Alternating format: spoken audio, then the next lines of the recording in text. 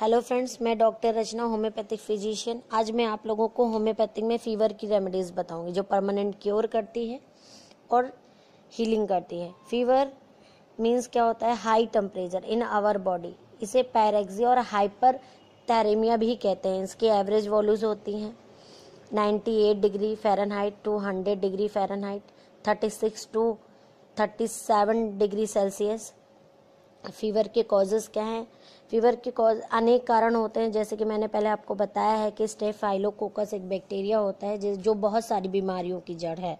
ऐसे ही स्टेफाइलोकोकस के ग्रुप होते हैं। ग्रुप वन ए बी और bacterial infection gram positive gram negative and other bacterial included संक्रमण जो होते हैं जैसे virus fungus parasites protozoans prion diseases के कारण होते हैं फीवर फीवर के साइनिंग सिम्टम्स क्या हैं?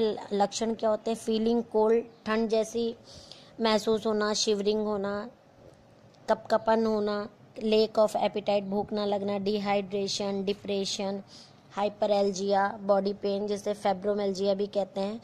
वीकनेस कमज़ोरी स्लिपनेस नींद पूरी ना होना स्वेटिंग मतलब पसीना आना. फीवर कई तरीके के होते हैं, जैसे typhoid scarlet dengue malaria chikungunya मियादी ब्रेन फीवर एक्सेट्रा फीवर होते हैं।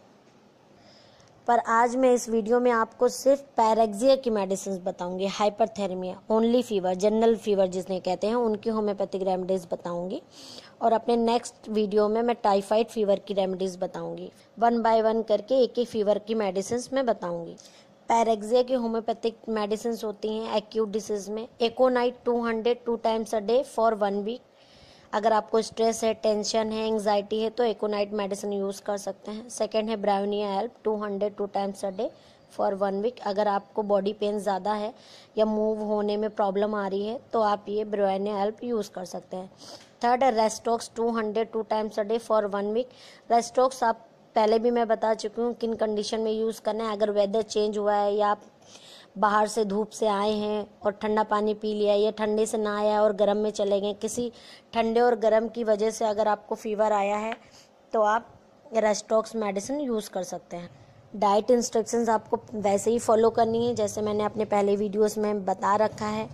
और आपको अगर कुछ क्वेश्चंस पूछने हैं तो आप कमेंट बॉक्स में कमेंट कर सकते हैं।